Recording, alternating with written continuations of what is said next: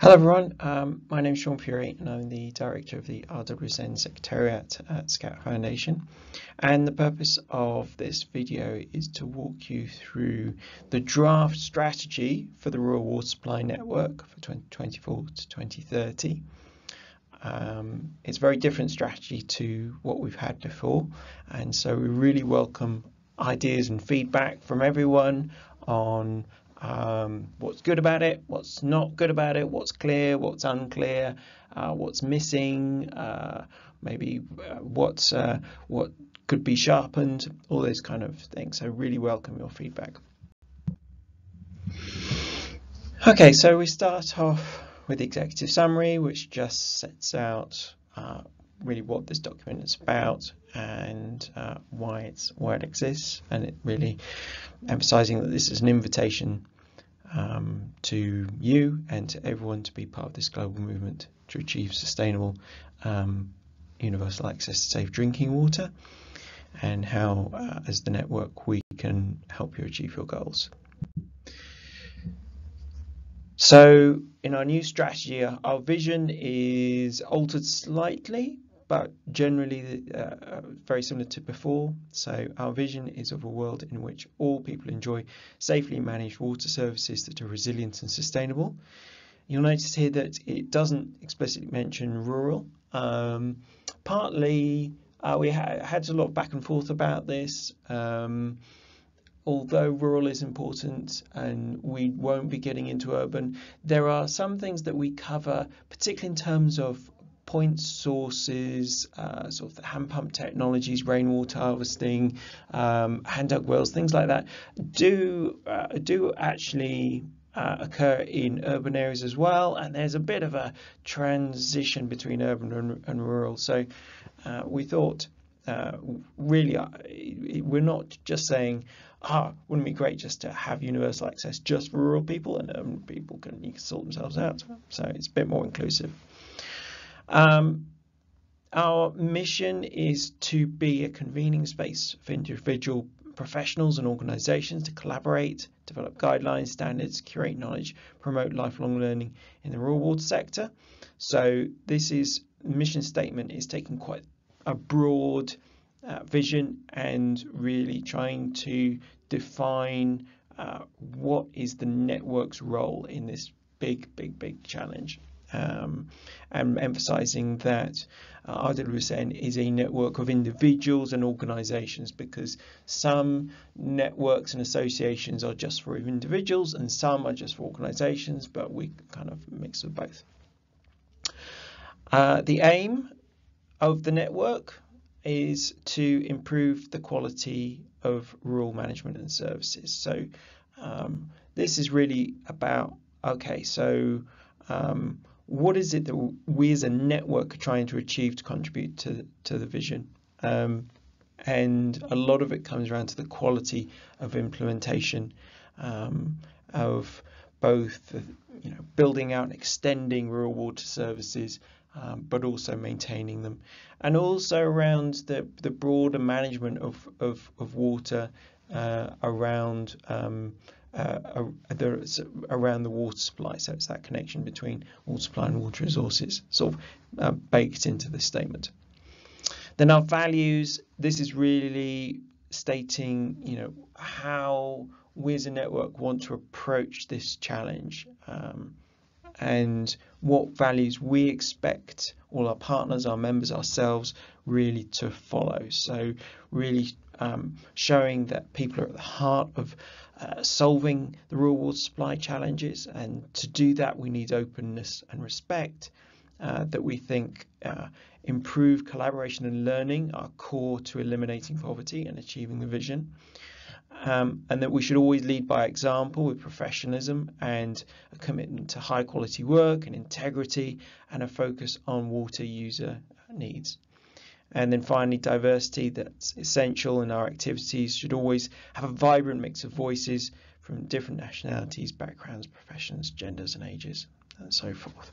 So this this one slide is really our elevator pitch. This is what RWSN is. This is what we do. This is why we do it. This is how we do it, and this is our kind of mindset in approaching this this formidable challenge. Uh, the next following slides I'm not going to read out, but uh, you can read for yourselves. But what they try to do is to to capture a, a bit about you know what it is we're trying to do and why you know why the focus on rural water why we see it is is so Im important um, and to build up that picture we've gone through uh, some of the latest uh, thinking on trends and on the state of drinking water services um, generally, not just rural, but, uh, but, but but more generally as well. So I think uh, just to highlight on this slide, we did listen to our members through a member survey earlier this year and through other means. And what's come really strongly is the impact of climate change, droughts and water scarcity. This came out in the member survey as the number one problem by quite a substantial margin, um, which compares to previous surveys where it's been about um, fourth or fifth priority. So we've really taken note of that. Uh, the barriers um, around policy and legislation, kind of the enabling environment for water supply. Um, that's important to note, but it's quite tricky for us as RWSN to focus on because we're a bit more of a practical focused network. Um, so we can't meet all our members' interests, but we're certainly mindful of this being a, being a, a, a barrier.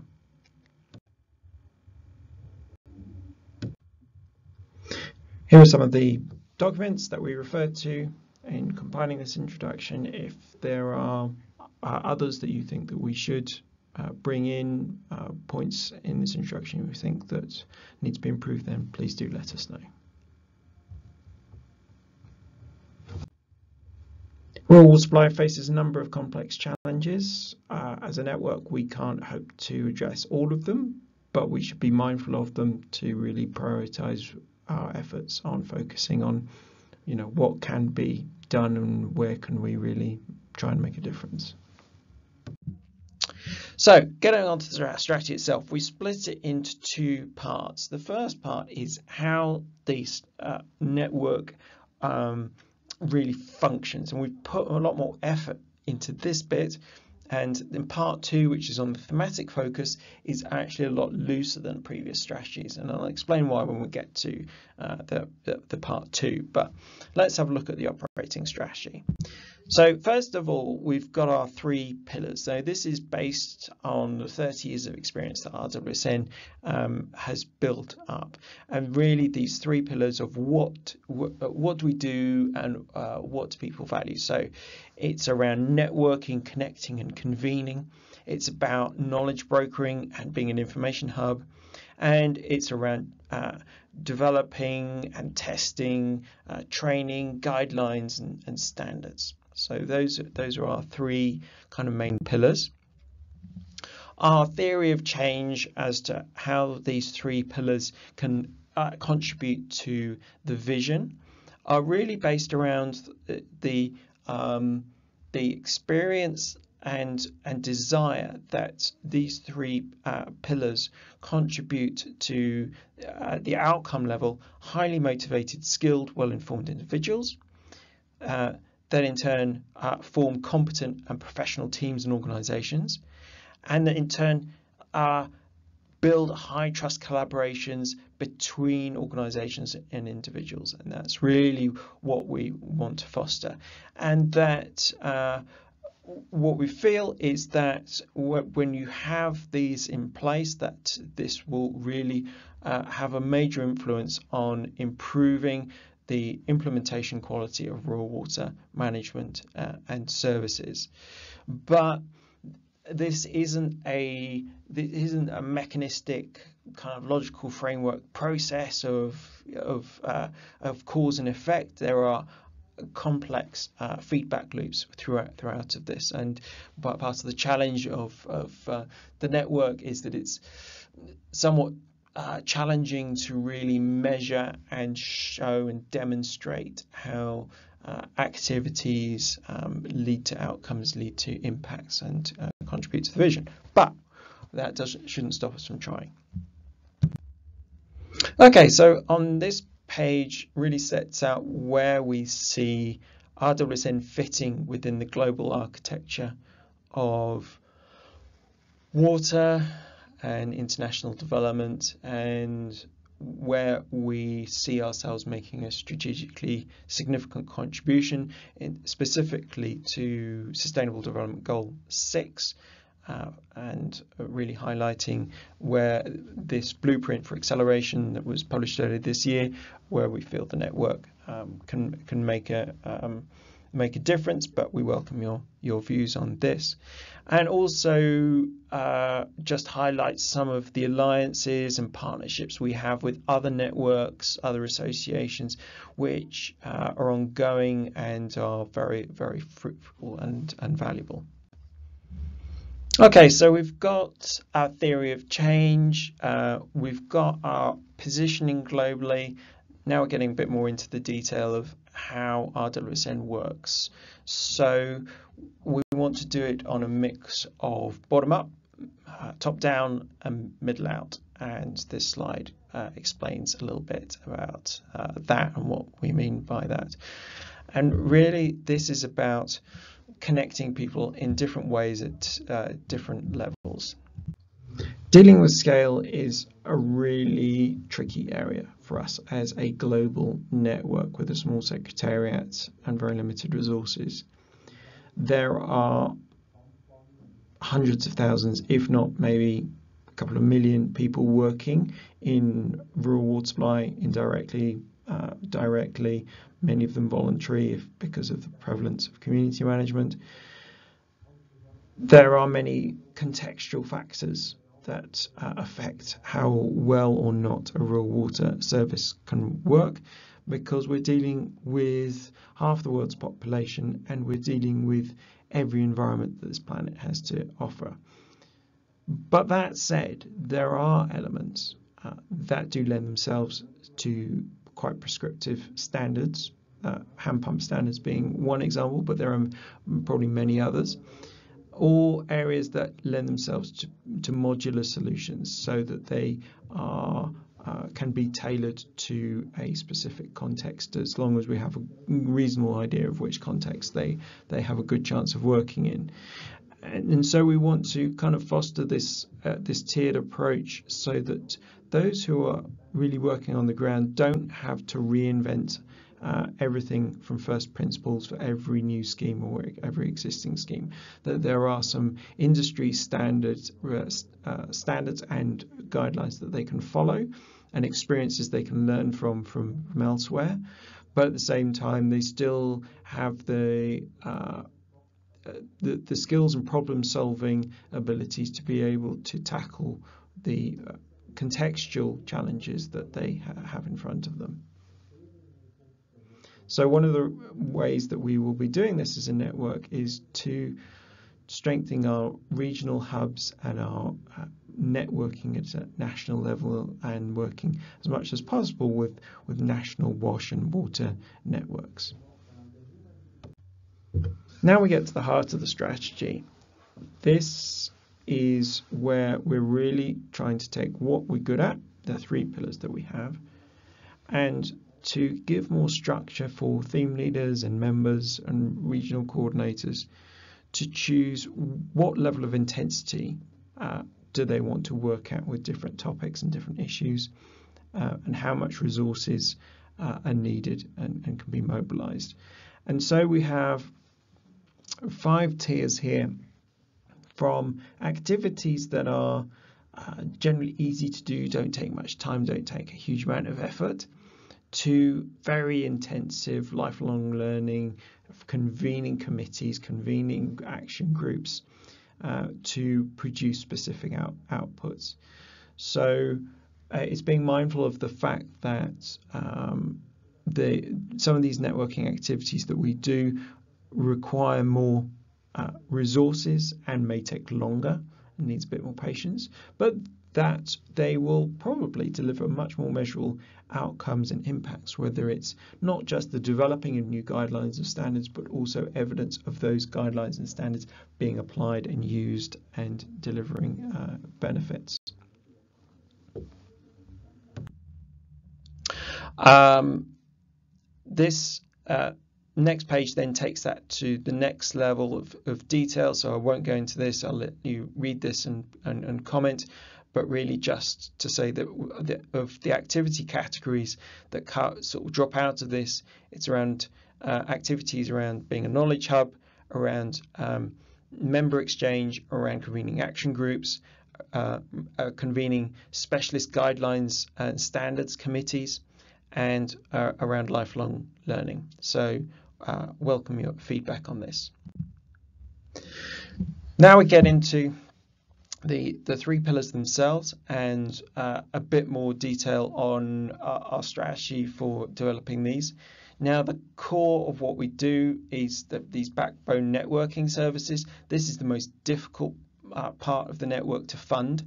Um, so uh, the, all the boring stuff that nobody's interested in in uh, funding. So things like planning and reporting and management and all the coordination and the governance and fundraising and the sector coordination and uh, dealing with members and member organisations, um, that side of it, and also the core networking activities. So the, some of these are you know that can expand and contract depending on how much uh, resources uh, we have. But uh, on the very uh, fundamental level we need to have a website. We need to have uh, online uh, discussion communities. We need to be providing news updates through blogs and social media and and through through email. Um, and then it, the more sort of resources we have, the more different types of activities we can do um, throughout the throughout the year. The uh, next part of of networking, connecting, convening is really about supporting uh, scaling up. So this is about helping to convene and connect people at a, a level that's appropriate to them. So we've identified these kind of four common levels that uh, that our members find themselves at from kind of early stage young entrepreneurs, uh, inventors, to startup organizations to quite established SMEs or NGOs, um, and, and then find out to sort of large scale providers uh, and implementers. And quite often, um, our, our, members are looking for how to move up to the to the next level and who can provide them the support, not just into funding. I mean, this slide kind of highlights the funding side of it, but it's not just about funding. It can also be about mentoring, support, connections, uh, a whole whole range of things. But I think this slide is, is kind of helpful on illustrating that uh, as we desire to uh, increase the, the level of impact, uh, who are the best uh, people to connect with um, on the, uh, the, the scale that they're they're comfortable with funding and supporting. On, on to our next pillar, so now around knowledge brokering. So this is really about building a, a, bridge between research and practice and policy, which we've been doing a lot uh, over the last 10 years with the UPGro program, the REACH program, and more recently with REAL-Water. Um, and uh, so a lot of this is around using the network to help uh, researchers and potential research users um, develop relevant, effective research outputs, and that those outputs are then translated into uh, into practice. And it's a very it's a very interesting space that we've been working in over the last few years, and we want to continue to do that. Um, and then the next pillar is around training guidelines and standards, which is something that, that has been core to the network uh, since the beginning. Um, originally very, very, very focused on, on hand pump technology, but these days we're much broader. Uh, we've done uh, develop guidelines as a network, not just under our own branding, but for uh, other organisations as well, notably UNICEF with their um, professional water well drilling guidelines and their uh, uh guidance for uh, leaving no one behind. Um, so that's uh, this is an important way of translating evidence, research, experience of, of network members codifying those into standards and guidelines that can help others improve the quality of their work. And then finally, the lifelong learning. We developed a, a draft strategy a while ago, uh, and this really breaks it down into uh, looking at rural water supply from the perspective of, uh, of of people and their careers and their needs of, from a network like ours at different stages of their career to really attract talent into uh, rural water supply and to as much as possible retain that talent, which is mm, for various reasons um, quite uh, quite challenging. So our mentoring scheme remains the um, linchpin of, of, of, our of our of our work. It's proved very successful, and we want to continue to grow and develop that mentoring scheme. But there are another, a number of other activities in our lifelong learning approach that we want to strengthen and, and develop. Turning now to the governance and membership. Um, so the strategy doesn't go into much detail on uh, the structure of the network because this is set out in a separate document called the governance protocol, which was uh, finalized at the beginning of uh, this year and really sets out the roles, responsibilities, and rules for the uh, the different parts of uh, the the network because RWSN is not a legal entity; it is a partnership. Uh, so uh, it's there's a lot of we need a lot of a lot of trust, a lot of common understanding about who does what and why and, and all the rest of it. So this this just explains a little bit about the structure of of who um, who is what in management, but also the, the membership. And we're continuing to evolve the membership um, as uh, as we look to diversify our income and and also offer uh, stronger services to um, to more and more people um, around the world. Most of our members are either in or, or uh, working in uh, sub-Saharan Africa, and we're looking to expand our membership in other other regions as well. This slide just gives a quick overview of the main responsibilities amongst the RWSN team and partners. Next couple of slides really are, a strategy in terms of what we want to do in terms of supporting diversity um, uh, within the network, um, and particularly because we are a network that is focused on um, low and middle income countries, that it's important that it is uh, as much as possible voices from the from those countries that are are, are very visible, very present. Um, part of it is following what is the the rea- current realities of uh, of what's happening in these countries. Part of it is more taking a leadership position in terms of where we would like the sector to go. And I would say in this particularly in relation to, to women, because in a, uh, a sector where which is really quite male dominated, we want to see more um, uh, women as leaders, as decision makers, um, and we will do everything we can to facilitate that. Okay, and here we just emphasize that we want to focus on supporting young professionals and the outline of how we want to do that. I think this will continue to evolve over time and welcome ideas and thoughts on how we do this. Our business model finally is uh, an outline of how we approach to finding the resources to deliver all of this. This is the most difficult part of um, the whole strategy because we can set some uh, ambitious goals and targets, but without the resources and partnerships to deliver it, um, we, we won't be able to do that. Um, so this just outlines our current approach, but this is something that will continue to evolve and change both as we take an entrepreneurial approach to developing a uh, a new and better business model that enables our WSN to grow and to flourish, but also responding to what's happening um, uh, in the world and the uh, what opportunities and threats there are. Okay, so part two. Um, which is the thematic focus of the strategy. So we've we've spent a lot of time looking on how the network works. Now it's like where do we focus our, our efforts? Now to do that, we've introduced uh, a new concept in this strategy around uh, framing.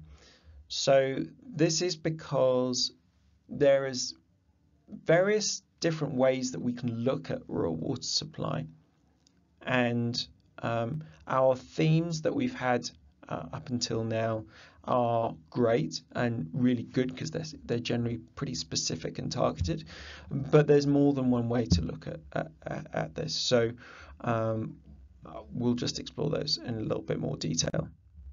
The themes are largely unchanged from what uh, they were before and how they're set out in the um, the, the governance protocol. So it's about having a clear outcome, wide applicability, having theme leaders, having a, a an online D group community, and uh, a wider sphere of, of partners and organisations.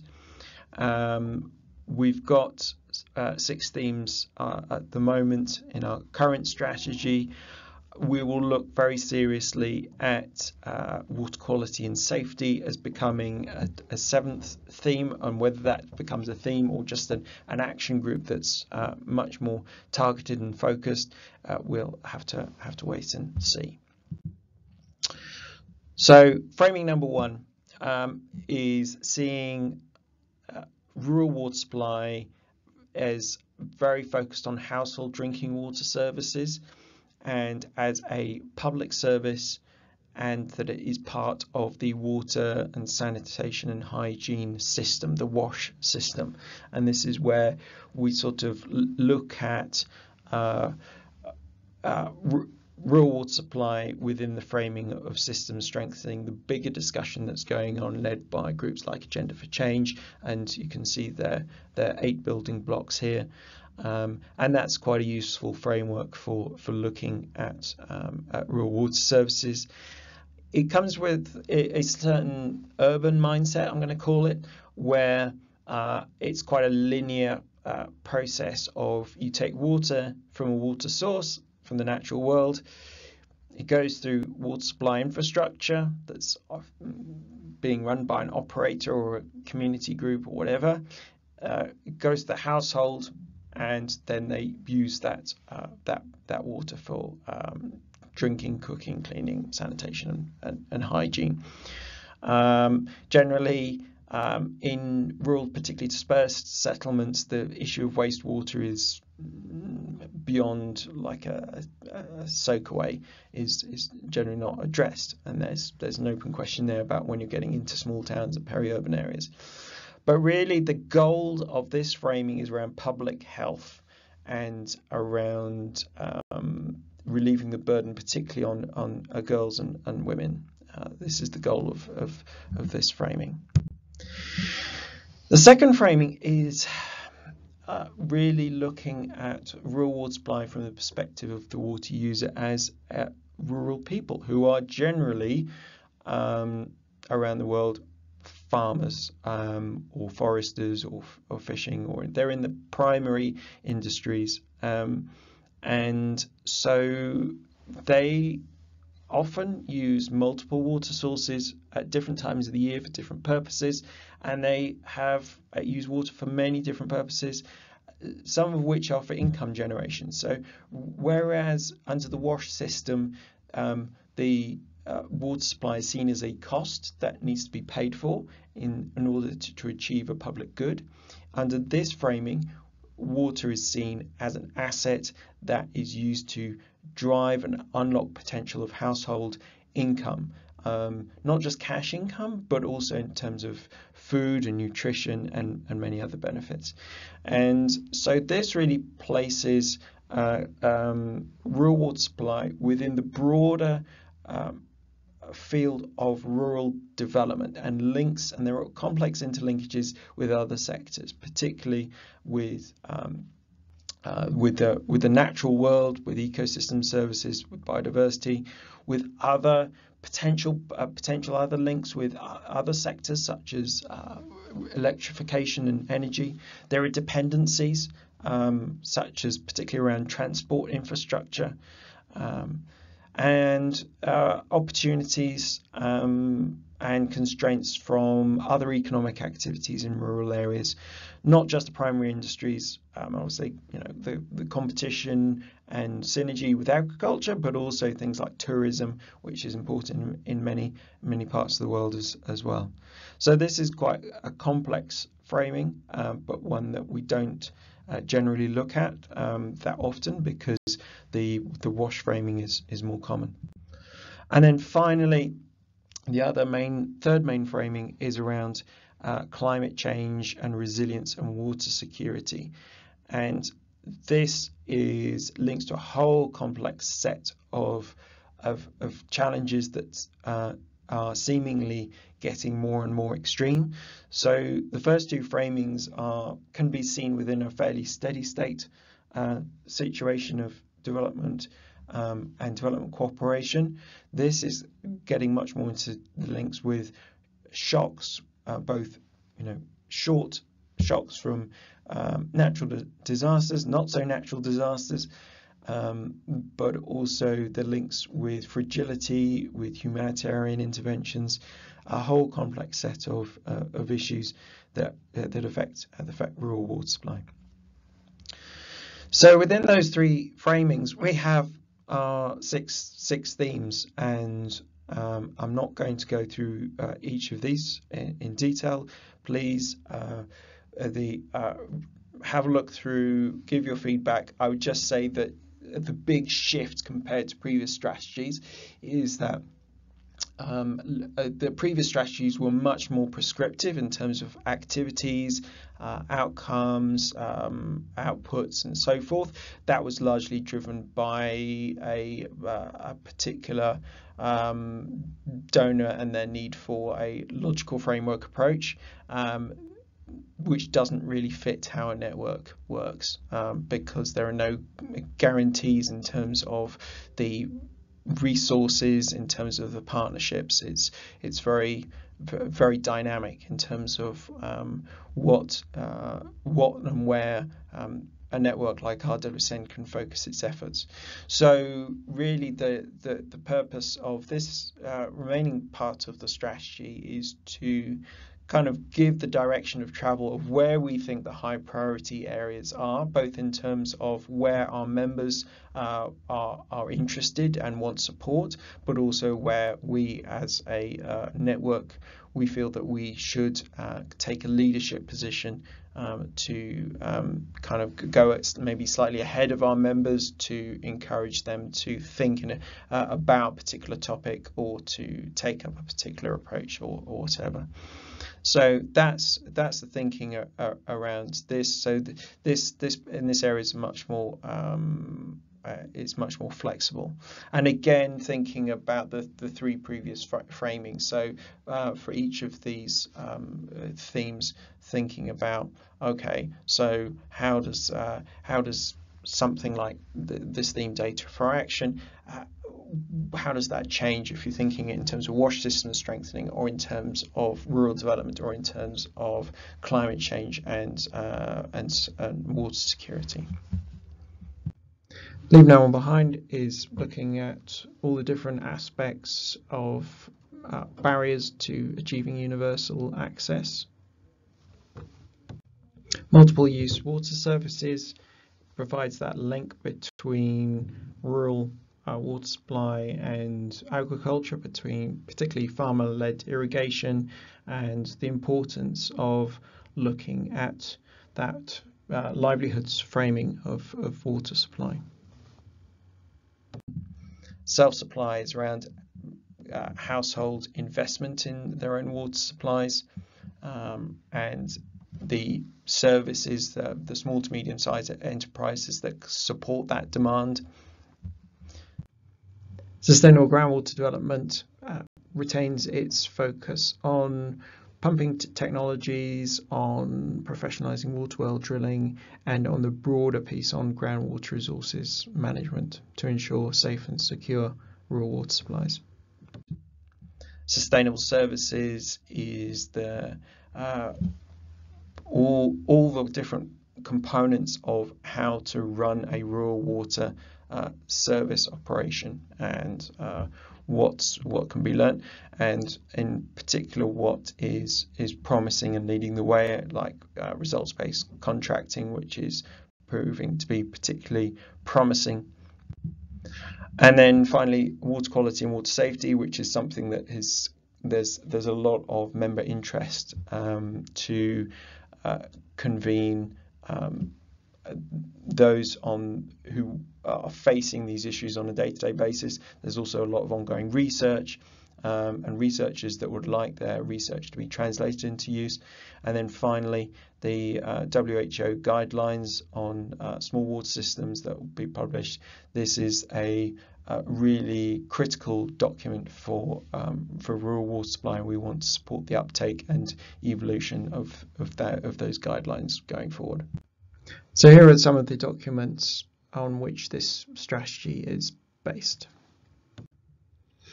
I want to emphasize that uh, RWSN is very much a team effort and a really great team effort from people from loads of different organizations and parts of the world and we really um, yeah I'm really grateful for everything that everyone does to make RWSN work. Um, these are just some of the people. Uh, there are many, many more, but uh, thank you very much. So finally, just to reiterate that we really want to hear from you. What do you think about the strategy? What's good? What's bad? What could be better? Um, what do you like? Um, and if you can let us know by the 30th of November, there's a Google form here with this complicated link that you can click on and follow, or if you have any questions or comments, you can contact me directly by email or through social media or whatever. Thank you very much for listening, and I look forward to hearing from you.